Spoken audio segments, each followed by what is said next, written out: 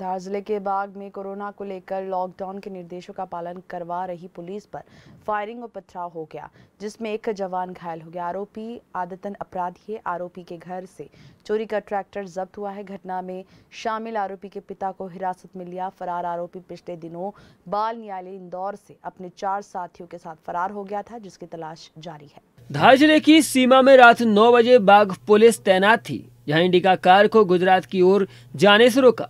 तभी आदितन अपराधी उमेश अपने पिता धन सिंह के साथ पुलिस से विवाद करने लगा। घटना की सूचना मिलते ही थाना प्रभारी में बल के साथ थाना स्थल पहुँचे, तभी आरोपियों ने पथराव शुरू कर दिया, जिसमें जवान ब्रजवासी घायल हो गए।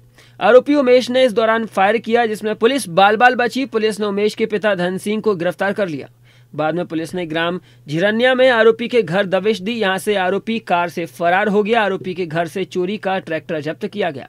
आरोपी उमेश पर 18 अपराध, चोरी, लूट के दर्ज हैं जिसकी तलाश की जा रही है। कल रात में नौ बजे हमारा थाने का बल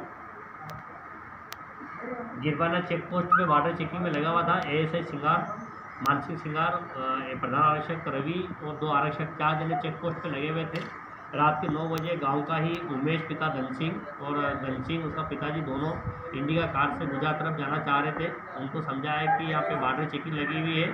और आप बाहर नहीं जा सकते हो। कोरोना वायरस चल रहा, बीमारी फैल रही है। इस वजह से उन लोगों ने बोला कि हम लोग कोई बीमारी को नहीं जानते हैं और हम जाएँगे, तुमको तो रोकने वाले परेशान कर रहे हो क्योंकि वो पुलिस वालों के साथ में उन्हें मजेमारी करी और हमारे पुलिस वालों को काला पकड़ लिए और उनने कहीं छुड़ाने के लिए डंडा अंडा मारा, हमारे सिपाही के हाथ में लग गया था।